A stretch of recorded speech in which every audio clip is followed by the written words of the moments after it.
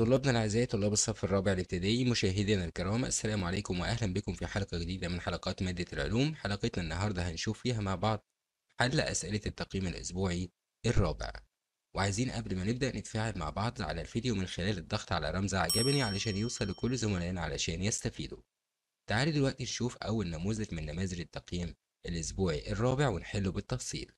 السؤال الأول عندنا بيقول لي أكمل يتكون الجهاز العصبي من نقط ونقط ونقط. طبعا جسم الإنسان بيتكون من مجموعة من الأجهزة. واحد من الأجهزة دي اسمه الجهاز العصبي والجهاز العصبي بيتكون من ثلاث أعضاء أصغر منه. أول واحد فيهم هو المخ وده يعتبر مركز التحكم في الإنسان. وبعدين الحبل الشوكي وبعدين الأعصاب. يبقى لما يقول لي إن الجهاز العصبي بيتكون من نقط ونقط ونقط هكتب له المخ والأعصاب والحبل الشوكي. لو كتبتهم بدون ترتيب عادي مفيش أي مشاكل. أما السؤال التاني بيقول لي اكتب ما تدل عليه العبارة. الخاصية أو الصفة اللي بتمكن الخفافيش من تحديد موقع فريستها. فيه صفة موجودة عند الخفاش بيخليه يقدر يصيد الفريسة بتاعته بسهولة وطبعا كلنا عارفين إن الخفافيش بتنشط ليلا يعني بتعمل عملية الصيد للفرائس في أثناء الليل. إزاي بتحدد مكان الفريسة؟ عن طريق صدى الصوت اللي طالع من الفريسة. يبقى الخاصية دي هي تحديد موقع الفرائس عن طريق الصدى. يبقى إجابتنا نكتبها مختصرة ونقول له خاصية تحديد الموقع بالصدى. أما السؤال التالت بيقول علل ما يأتي. يستطيع اليربوع القفز لمسافات طويلة. ليه اليربوع بيقدر يقفز من مسافة لمسافة بعيدة تانية خالص عنها هنقول له علشان الأقدام أو الأرجل الخلفية لليربوع بتكون طويلة. يبقى ممكن نكتب إجابة مختصرة ونقول لأن أرجله الخلفية طويلة. أما السؤال الرابع عندي بيقول لي ماذا يحدث إذا؟ إيه اللي هيحصل لو كانت عيون البوم صغيرة الحجم؟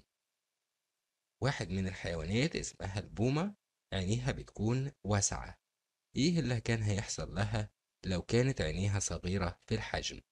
هنقول في الحالة دي هتكون غير قادرة على تحديد الفرائس واصطيادها بسهولة. يبقى الإجابة هنكتبها منسقة وهنقول عدم قدرتها على تحديد الفرائس بسهولة. السؤال الخامس بيقول لي اذكر وظيفة واحدة للمخ في جسم الإنسان. طبعا مخ الإنسان زي ما قلنا هو مركز التحكم في جسم الإنسان. بيعمل وظائف كتيرة جدا. عايزين نذكر واحدة من الوظائف دي هنقول له إن المخ يقوم بمعالجة المعلومات وتفسيرها. وتعالى دلوقتي نشوف مع بعض النموذج التاني من نماذج التقييم الأسبوعي الرابع في مادة العلوم لطلاب صف الرابع الابتدائي. أول سؤال عندهم بيقول لي أكمل من أمثلة الحيوانات الليلية نقط ونقط. فيه بعض الحيوانات بتنشط ليلا يعني بتصطاد الفرائس وبتعمل العمليات اللي بتقوم بيها الحيوية. في خلال فترة الليل. من الأمثل على الحيوانات دي زي ما إحنا عارفين الخفاش وأيضا البومة. أما السؤال التاني عندنا بيقول لي اكتب ما تدل عليه العبارة.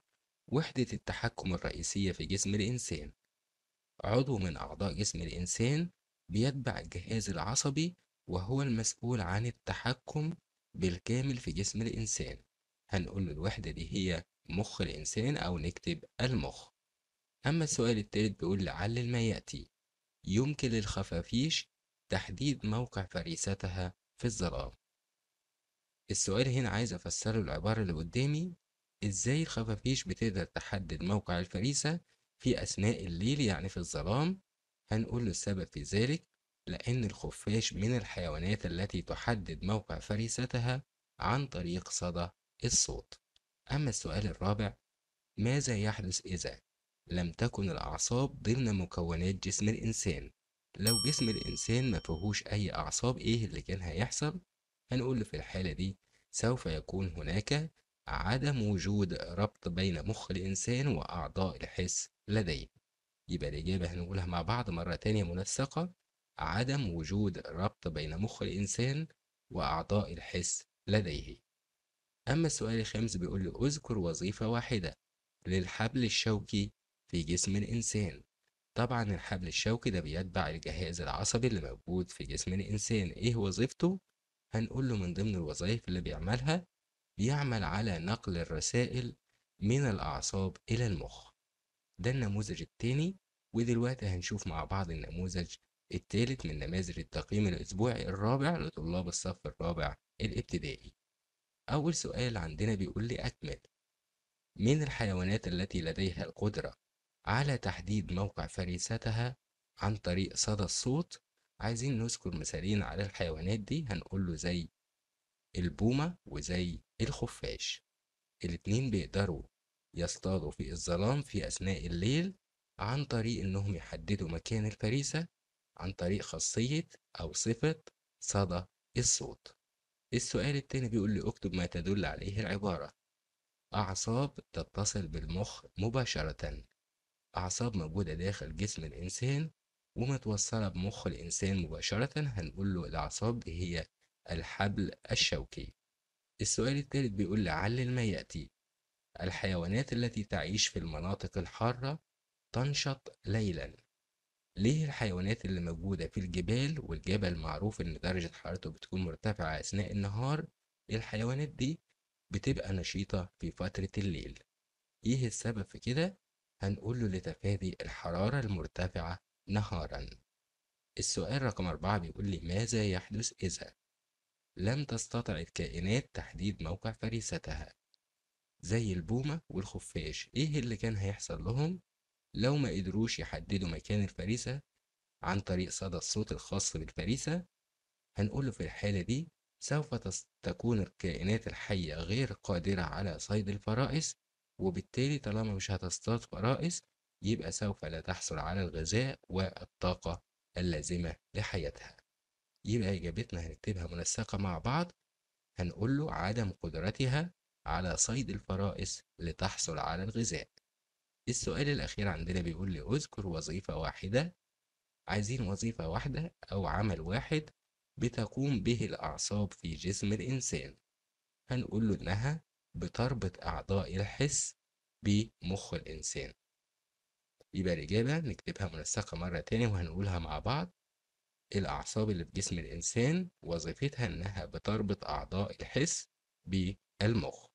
وبكده أصدقائنا الأعزاء نكون شفنا مع بعض حل أسئلة التقييم الأسبوعي للأسبوع الرابع في مادة العلوم لطلاب الصف الرابع الابتدائي. بنسعد بتفاعلكم معانا من خلال ضغطكم على رمز إعجابا اللي موجود أسفل الفيديو. علشان ده بيخلي الفيديو يوصل لكل زملائنا علشان يستفيدوا. كمان تقدروا تشاركوا الفيديو مباشرة معاهم لو أنتوا استخدمتوا رمز المشاركة. أما لو كنتوا أول مرة تشوفونا وحبيتوا إنكم تنضموا لأسرتنا نسعد بانضمامكم لينا من خلال ضغطكم على كلمة اشتراك أو سبسكرايب اللي هتلاقوها أسفل الفيديو أيضا. على أمل اللقاء بكم بإذن الله تعالى في الحلقة القادمة. وحتى ذلك الموعد تقبلوا أطيب تحياتي وأصدق أمنياتي لكم جميعا بالنجاح والتفوق. والسلام عليكم ورحمة الله تعالى وبركاته.